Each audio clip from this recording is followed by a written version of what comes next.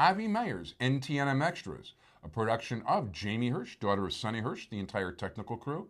Uh, check us out on the web. ntnm.org is our regular website. Uh, you can all the shows are on YouTube. Over 100,000 shows watched. Thank you so much.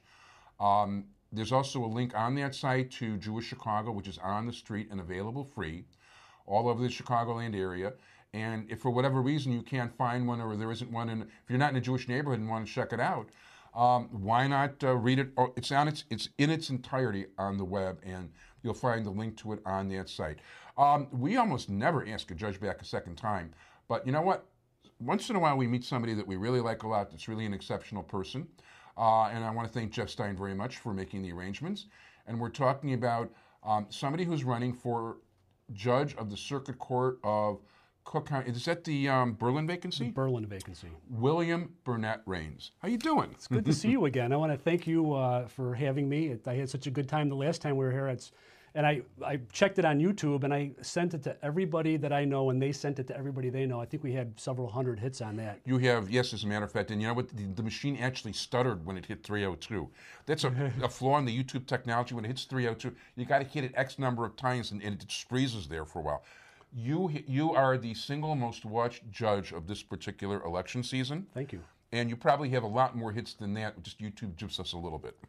Maybe I should run for state rep or senate or something. But uh, I, uh, my passion is obviously to be a judge of the Circuit Court of Cook County, and um, I, um, this has my, been my passion for years. And I, I feel very fortunate to have the opportunity to do this, and I feel confident that I'm going to win it. So. I hear a lot of good things about you, and I hear a lot of good things about the campaign. That's it's, for it's, sure. it's going really well. I've gotten support that I, I didn't think that I would have. Uh, you just interviewed uh, Senator Ricky Hendon, who has really gone out of his way to uh, to help me and to uh, mentor me in a lot of ways, as the the way politics are, and to approach things with a sense of humor and to uh, reach out to the people and, and really talk to them and, and learn the issues and try to understand where they're coming from. And especially from a judicial candidate perspective, you're really not allowed to have an opinion. Yeah. That's why I don't have the scissors, you know. Uh, I'm, I'm Marty, Hi, I'm Marty Levinson. I'm Marty right? Levinson. But I'm willing to do that if, Yeah. if that would help. But uh, you know, in, in going to his meetings and listening to the you know the problems of uh, you know the west side of Chicago and uh, and I'm at 26 in California probably three days a week, and a majority of the the the defendants that are there are African American, and there there's there's issues that need to be resolved. And I went to a ministers meeting yesterday, and one of the things that I talk about oftentimes at these meetings is the youth. You know, you have kids that have no after school programs. You have kids that are getting in trouble because they got nothing else to do. You got single family parents. And I think um, the most important thing is to really focus on the kids. And that's where Ricky Hendon and I are really on the same page because he calls them as babies, and maybe that's probably the appropriate thing to do.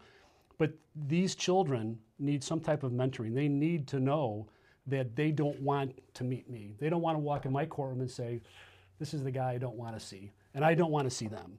I want to be able to uh, be the judge that goes to the community meetings and the outreach programs and to the uh, you know the different programs where they're talking about keeping guns off the street, the ceasefire programs. A lot of candidates do that until they get elected, and once they're elected, they're saying thank you, you know, I appreciate your help and I'll never see you again. I, I promise the ministers and I promise everybody that watches your show, I'm not going to be that candidate. I'm not going to be that judge. I'm going to be the person that follows through and goes to the community meetings and really appreciates what's happening out there on the streets, not what's in a courtroom where the doors are locked and you have sheriffs to make sure that everything is done uh, quietly and appropriately. I want to be the person that goes out there and says, you know what, I want to know what the problems are. I want to know what I can do to try to resolve some of these problems from a judge's perspective. I think that's terrific, absolutely terrific. And you've got the background uh, from so many different areas to be able to. Uh, Retired police officer. I got shot as a police officer and received a disability retirement. I went to law school and became an assistant state's attorney at 26th in California. I've not only prosecuted the offenders, uh, now I defend them. And uh, I have a very well rounded approach to um, what's going on in the streets and what's happening in the courtrooms. I know I've heard a really lot of a lot of good things from you from a lot of the uh, local Jewish leaders over here, and as a matter of fact, you even represent uh, some of their kids and things like that. Uh, yeah, I'm not going to mention any names, but yeah, I, I have. I've gotten the phone call at midnight on my cell phone saying, "Can you please uh, help me out?" um, and, but that's who I am. I'm one of those people. If I can reach out and make a difference in somebody's life, uh, I'm going to do it. And I know you've got a lot of strong support in uh, my particular neighborhood, that's for sure. Yeah. Well, and, and not talking about helping their kids, but uh, Bernie Stone is, uh, and I, I mentioned this the last time, the man walks on water. He is probably the most sincere, uh, helpful uh, politician that I've ever met. If you call him, I have a cell phone number. If I call him, come on down, let's talk. Uh, he's reached out to other um, aldermen and committeemen on my behalf to try to get me the support that I need in order to win this election. And when Bernie Stone asks me to jump, I ask how high. Yeah, I happen to like Bernie, and people don't appreciate the fact that, uh, you know what, I never ever have to worry about a knife in the back from Bernie. You'll see the punch to the face coming. He gives it to you fair and square. you know, I've, I've run before, and um, you know, he's told me in the past, there's nothing I can do for you. And I r- I respect and appreciate someone who's honest, and there's no game playing, and he is not a game player. And I appreciate his support. no, I fully agree. Uh, you have a website? I do. It's uh, uh, www.raines, the number four, judge.com. It's uh, rainesforjudge.com. And my punch number is 153. And I like to say, remember me or vote for me, punch 153, William Burnett Raines. Yeah, you got to have that hook to get something to rhyme. It kind of helps a lot. So www. Raines, the number four, judge.com. Or I have Raines for Judge at AOL also. and punch number 153.